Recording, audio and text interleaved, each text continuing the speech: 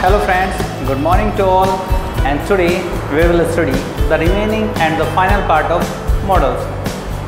दोस्तों इससे पहले हम मॉडल्स की कुछ क्लासेस ले चुके हैं टू क्लासेस उसमें हमने पढ़ा था can could may might should must ought to and use to and would और टुडे आज हमारा जो टॉपिक है वो है dare and need dare and need एक बहुत इंपॉर्टेंट टॉपिक है और इसे बहुत केयरफुली आपको समझना होगा।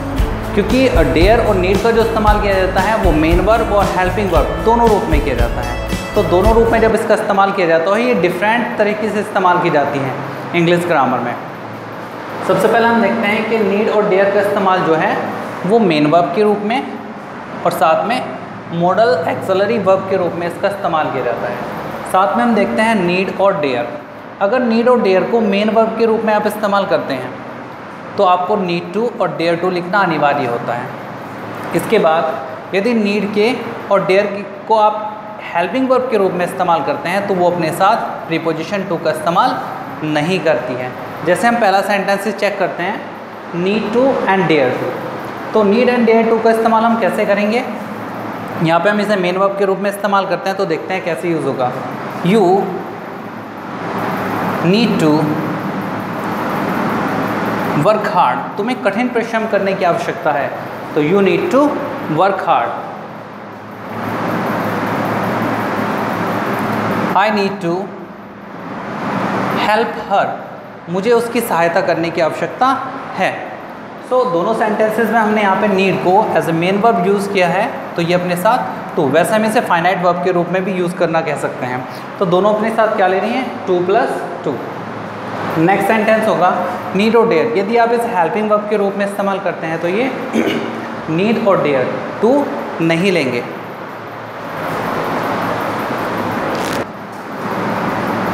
I do not need to work hard देखो, इस सेंटेंस में देखते हैं। I do not need to work hard मुझे कठिन परिश्रम करने की आवश्यकता नहीं है। तो इस सेंटेंस में हम देखते हैं कि हेल्पिंग वर्ब डू का इस्तेमाल किया जा रहा है तो नीड यहाँ पर भी मेन वर्ब है तो ये अपने साथ टू लेगी। लेकिन अगर हम नीड को हेल्पिंग वर्ब के रूप में यूज़ करेंगे तो ये टू लेना बंद कर देगी। जैसे I need not work hard मुझे कठिन परिश्रम करने की आवश्यकता नहीं है। तो दोनों के मीनिंग में कोई चेंज नहीं है, लेकिन यहाँ हमने नीड को मेन वर्ब के रूप में यूज़ किया है तो ये टू लेगा। लेकिन यहाँ पर हमने नीड को मॉडल एक्जलरी वर्ब के रूप में इस्तेमाल किया है तो ये अपने साथ टू नहीं लेगा। लेट स्टडी डेयर डेयर का इस्तेमाल कैसे करते हैं? सेम नीड के लिए। अगर हम डेयर का इस्तेमाल मेन वर्ब के रूप में करेंगे तो ये अपने साथ टू लेगा। और अगर हम इसका इस्तेमाल मॉडल एक्जलरी वर्ब के रूप में करते हैं तो ये अपने साथ टू नहीं लेगा। देखते हैं। तो सबसे पहले मैं एक सेंटेंस लिखता हूँ, जिसमें ये डेयर जो है वो मेन वर्ब के रूप में इस्तेमाल होगा। जैसे I dare to go out in dark मुझमें अंधेरे में बाहर जाने का साहस है। तो हमने क्या किया? यहाँ पर डेयर मेन वर्ब के रूप में इस्तेमाल किया तो ये अपने साथ टू लेगा। दूसरा ही dares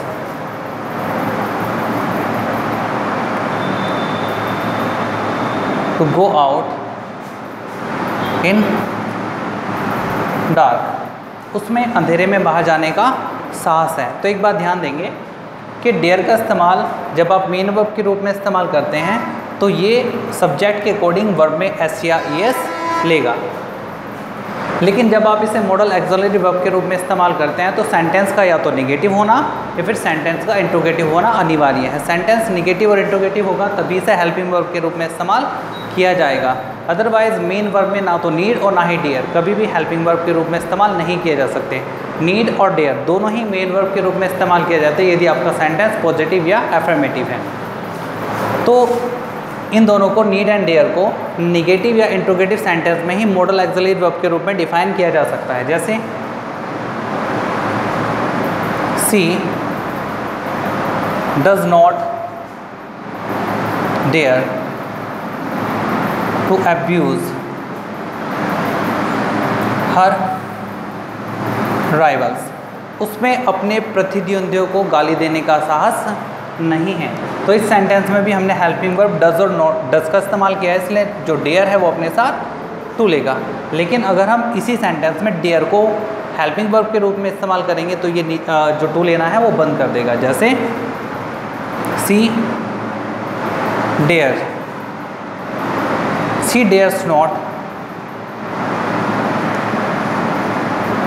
abuse her rivals. तो सेंटेंस में एक मिस्टेक है, क्योंकि जब आप डेयर को या फिर नीड को मॉडल एक्जलरी वर्ब के रूप में इस्तेमाल करते हैं तो वे एस एस नहीं ले सकते। इस सेंटेंस में आपको एस का इस्तेमाल नहीं करना। सी डेयर नॉट उसमें साहस नहीं है एब्यूज़ हर राइवल्स अपने प्रतिद्वंदियों को गाली देने का। तो इस बात को हम ऐसे लिख सकते हैं कि डेयर और नीड वर्ब में एस या यस नहीं ले सकती। If they are use as modal auxiliary verb तो यदि नीड और डेयर को मॉडल एक्सलरी वर्ब के रूप में, यानी कि हेल्पिंग वर्ब के रूप में इस्तेमाल किया जाता है तो आप नीड एंड डेयर के साथ एस का इस्तेमाल नहीं कर सकते।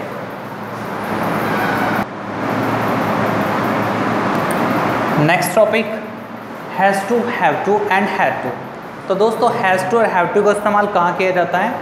बहुत सारे काम आपको प्रेजेंट में, मजबूरी में करने पड़ते हैं। अब वो करना नहीं चाहते, लेकिन आपको वो एज ए कंपल्सन करने होते हैं तो उसके लिए आपको हैज़ टू या हैव टू का इस्तेमाल करना होता है। लेकिन ऐसे ही कुछ काम आपको पास में मजबूरी में करने होते थे तो उसके लिए आपको हैड टू का इस्तेमाल करना होता था। तो प्रेजेंट में अगर कंपल्सन है तो हैज़ टू या हैव टू प्लस वर्ब की फ़र्स्ट फॉर्म और अगर पास में कोई कंपल्सन यानी कि मजबूरी रही थी, उसके लिए आपको हैड टू प्लस वर्ब की फ़र्स्ट फॉर्म इस्तेमाल करनी होती है। जैसे अगर प्रेजेंट की मजबूरी में देखें तो हम लिख सकते हैं I have to get up early in the morning मुझे सुबह जल्दी उठना पड़ता है। तो I have to get up early in the morning ये कंपल्सन दर्शा रहा है मजबूरी को।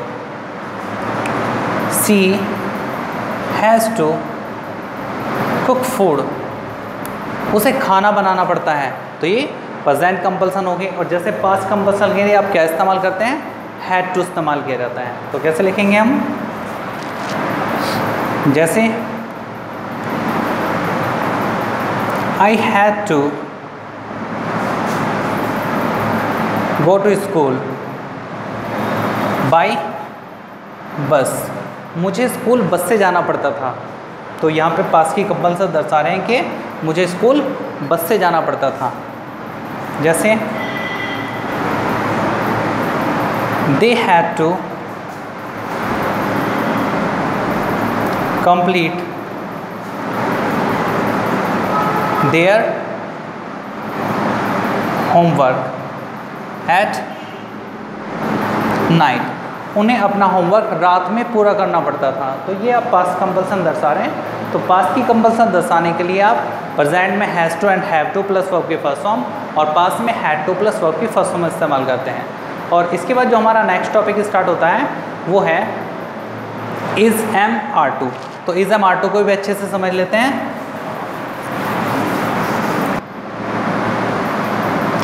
तो दोस्तों हमारा जो नेक्स्ट टॉपिक है वो है is to am to are to present planning के लिए आप इस्तेमाल करते हैं और उसके बाद वास टू एंड वर टू ये पास प्लानिंग के लिए इस्तेमाल किया जाता है। जो काम आपको करना है जैसे आ, मुझे मैं सुबह जल्दी उठता हूँ ये मेरी हैबिट हो गई लेकिन ये प्लानिंग नहीं है। लेकिन अगर आप कहेंगे मुझे सुबह जल्दी उठना है ये आपकी प्लानिंग हो गई। जैसे अब मुझे खाना खाना है ये आपकी प्लानिंग हो गई। या मुझे कल सुबह जल्दी मुंबई के लिए रवाना होना है, ये आपकी प्लानिंग हो गई, ठीक है? जैसे आज रात मुझे जल्दी सोना है, ये आपकी प्लान होगी मैं जल्दी सोता हूँ, ये आपकी हैबिट हो गई। तो हम हैबिट की बात नहीं कर रहे हैं, बात कर रहे हैं हम प्रजेंट प्लानिंग की। जो आपकी प्रजेंट की प्लानिंग होती है, उसके लिए आप is to am to and are to इस्तेमाल करते हैं, लेकिन जो हमारी पास की प्लानिंग थी, उसके लिए अपने वास टू वर्ड टू इस्तेमाल किया जाता है। तो देखते हैं, जैसा मैंने लिखा है is to am to are to is use for present planning and to word to is use for past planning okay तो बात करते हैं हम प्रेजेंट प्लानिंग के लिए, जैसे I am to complete my homework मुझे अपना होमवर्क पूरा करना है तो I am to complete my homework she is she is to deposit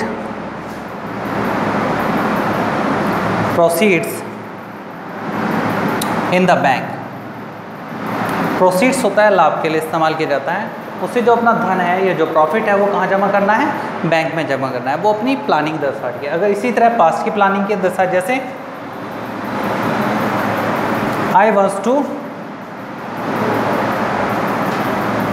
leave for Mumbai last night तो आप पास प्लानिंग दर्शा रहे कि कल रात मुझे मुंबई के लिए रवाना होना था। And next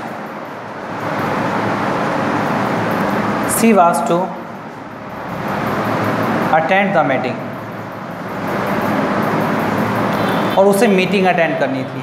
तो दोस्तों, हमने यहाँ पे काफ़ी टॉपिक्स पढ़े हैं मॉडल्स के बारे में। Can could may might should must और to has to have to use to would need and dare तो इन सभी मॉडल्स को हमने, मैंने बताया कि मॉडल्स का जो इस्तेमाल होता है किसी भी स्पीकर के मूड को या फिर उसके एटीट्यूड को दर्शाने के लिए मॉडल का इस्तेमाल करते हैं। आई होप को आपको मॉडल्स अच्छे से समझ में आए होंगे। और मैं पहले भी कह चुका हूँ कि अगर आपने अभी तक हमारा चैनल सब्सक्राइब नहीं किया है तो चैनल को सब्सक्राइब कीजिए और आने वाले सभी नई टॉपिक्स जो आपके चैनल सब्सक्राइब करेंगे तो उसी पर आपको अवेलेबल होगी। So thank you bye